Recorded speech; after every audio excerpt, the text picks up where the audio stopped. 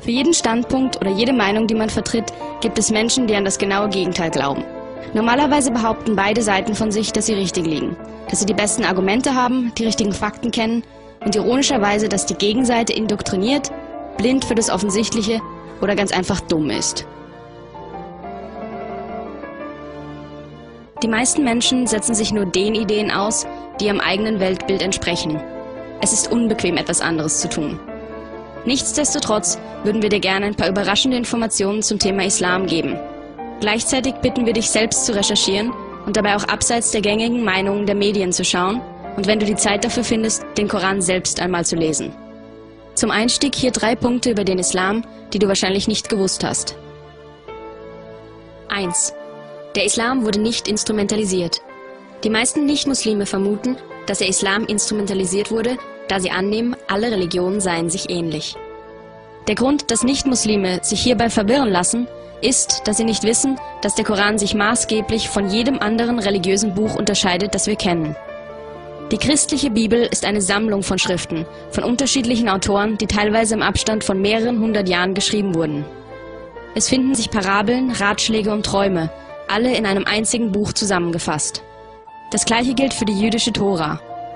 In der westlichen Welt wissen dies auch diejenigen von uns, die weder Christen noch Juden sind und vermuten deshalb, dies sei auch für den Koran gültig. Aber der Koran ist ein Buch. Er wurde von einem Mann in dessen eigener Lebenszeit geschrieben. Er soll wörtlich genommen werden und ist nicht angefüllt mit Symbolen und vagen Parabeln, sondern meist direkt gemeinten Befehlen. Der Koran enthält Widersprüche, wie auch andere religiöse Schriften. Aber einzig der Koran selbst gibt dem Leser Vorschriften, wie mit diesen Widersprüchen umzugehen ist.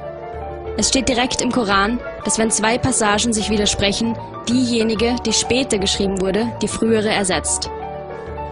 Die meisten Menschen in der westlichen Welt sind sich nicht bewusst, dass die friedfertigen, toleranten Passagen des Koran aus Mohammeds frühe prophetische Karriere stammen. Wie im Koran nachzulesen, werden diese Verse von den später folgenden, gewalttätigeren, weniger toleranten Passagen überschrieben. Wenn nun die westliche Welt Dschihadisten hören, die gewalttätige Passagen aus dem Koran zitieren und friedvolle Muslime friedvolle Verse zitieren, interpretieren wir dies, als würde jemand die Bibel oder die Tora zitieren. Wir denken uns, oh, scheinbar gibt es viele widersprüchliche Texte im Koran, sowie in anderen religiösen Schriften, das heißt, Muslime können sich aussuchen, was ihnen am besten passt und so ihre Handlung rechtfertigen. So ist es im Koran allerdings nicht. Es gibt keine Rosinenpickerei. Es steht im Koran sehr direkt und in unmissverständlichen Worten, dass ein Muslim keine Stelle dieser direkten und klaren Nachricht auslassen oder verändern darf. Tut er dies, so wird er für immer in der Hölle brennen.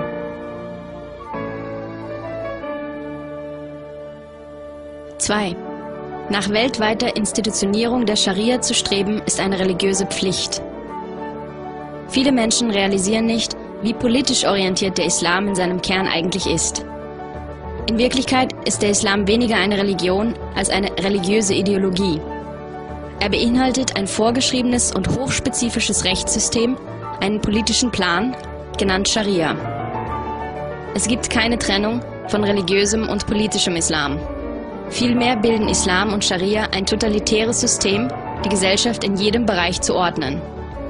Die Scharia umfasst Rituale und Gottesanbetung, Geschäftsabschlüsse und Verträge, Moral, Anstand und Sitten, Glaube und Bestrafungen.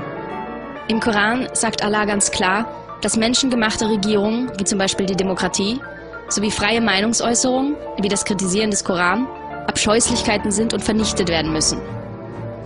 Der Begriff Creeping Sharia beschreibt die langsame, durchdachte und methodische Annäherung des islamischen Rechts in nicht-muslimische Länder. Offizielle Scharia-Gerichte gibt es bereits in Großbritannien. Sie beschäftigen sich hier mit Scheidungen, finanziellen Streitigkeiten und heimischer Gewalt. Versuche, die Scharia in die Rechtssysteme von Deutschland, Schweden und anderen europäischen Ländern zu integrieren, häufen sich. Während die Scharia bereits bei kleineren Disputen wie Erbe und heimische Gewalt den Fuß in der Tür hat, sollte es dich beunruhigen, dass die Scharia befiehlt, dass Trinker und Spieler ausgepeitscht werden müssen, Männern erlaubt, ihre Frauen zu schlagen, einem Kläger exakte Rache garantiert, also wörtlich Auge für Auge, befiehlt, dass Dieben die Hand abgeschlagen werden muss, befiehlt, Homosexuelle zu töten, befiehlt, unverheiratete Fremdgeher auszupeitschen und Ehebrecher zu steinigen, für jeden Muslim oder Nicht-Muslim, der Mohammed, den Koran oder sogar Scharia selbst kritisiert, den Tod fordert, befiehlt, Abtrünnige zu töten, offensiven, aggressiven und ungerechten Dschihad befiehlt. Die Scharia ist das Gesetz Allahs. Jede andere Form von Regierung ist eine Sünde. Es ist die Pflicht eines jeden Muslims danach zu streben, dass jede Regierung sich der Scharia unterordnet.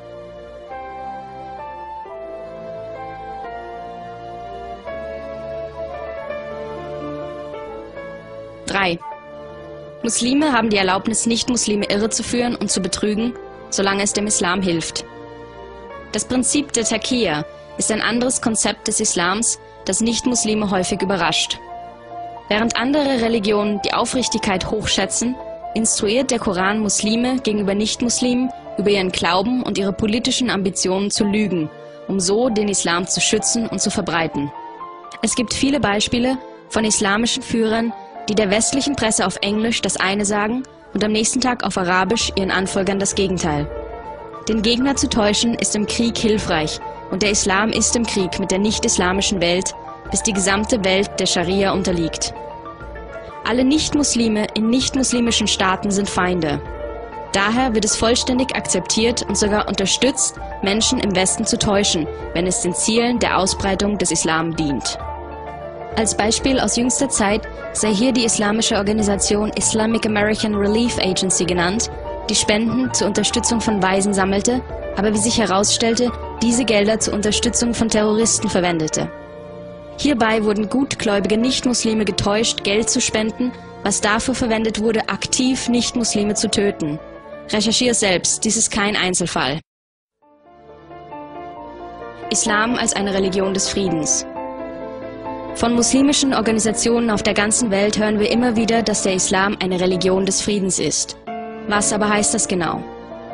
Es scheint leicht für einen Muslim, einen friedfertigen Vers aus dem früheren Teil des Korans zu zitieren und dabei dem Prinzip der Takia zu folgen und nicht anzumerken, dass dieser Vers offiziell durch einen anderen, gewalttätigeren Vers überschrieben wurde. Nach dem Koran wird sich die Welt erst dann im Frieden befinden, wenn Islam und Scharia in jedem Land der Erde regieren und nicht vorher. Deshalb kann jeder Muslim wahrhaft sagen, Islam sei eine Religion des Friedens. Falls dich auch nur einer dieser Punkte überrascht hat, dann kannst du dir sicher sein, dass es hierzu noch mehr gibt, was du nicht weißt. Dieses Thema wird bald auch dich betreffen. Nutze die Chance, dich jetzt zu informieren, bevor es soweit ist.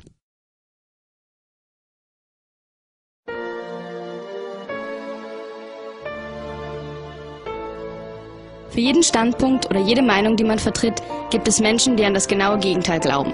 Normalerweise behaupten beide Seiten von sich, dass sie richtig liegen, dass sie die besten Argumente haben, die richtigen Fakten kennen und ironischerweise, dass die Gegenseite indoktriniert, blind für das Offensichtliche oder ganz einfach dumm ist. Die meisten Menschen setzen sich nur den Ideen aus, die ihrem eigenen Weltbild entsprechen. Es ist unbequem, etwas anderes zu tun. Nichtsdestotrotz würden wir dir gerne ein paar überraschende Informationen zum Thema Islam geben. Gleichzeitig bitten wir dich selbst zu recherchieren und dabei auch abseits der gängigen Meinungen der Medien zu schauen und wenn du die Zeit dafür findest, den Koran selbst einmal zu lesen. Zum Einstieg hier drei Punkte über den Islam, die du wahrscheinlich nicht gewusst hast. 1. Der Islam wurde nicht instrumentalisiert. Die meisten Nicht-Muslime vermuten, dass der Islam instrumentalisiert wurde, da sie annehmen, alle Religionen seien sich ähnlich. Der Grund, dass Nichtmuslime sich hierbei verwirren lassen, ist, dass sie nicht wissen, dass der Koran sich maßgeblich von jedem anderen religiösen Buch unterscheidet, das wir kennen. Die christliche Bibel ist eine Sammlung von Schriften, von unterschiedlichen Autoren, die teilweise im Abstand von mehreren hundert Jahren geschrieben wurden. Es finden sich Parabeln, Ratschläge und Träume, alle in einem einzigen Buch zusammengefasst. Das gleiche gilt für die jüdische Tora. In der westlichen Welt wissen dies auch diejenigen von uns, die weder Christen noch Juden sind und vermuten deshalb, dies sei auch für den Koran gültig. Aber der Koran ist ein Buch. Er wurde von einem Mann in dessen eigener Lebenszeit geschrieben. Er soll wörtlich genommen werden und ist nicht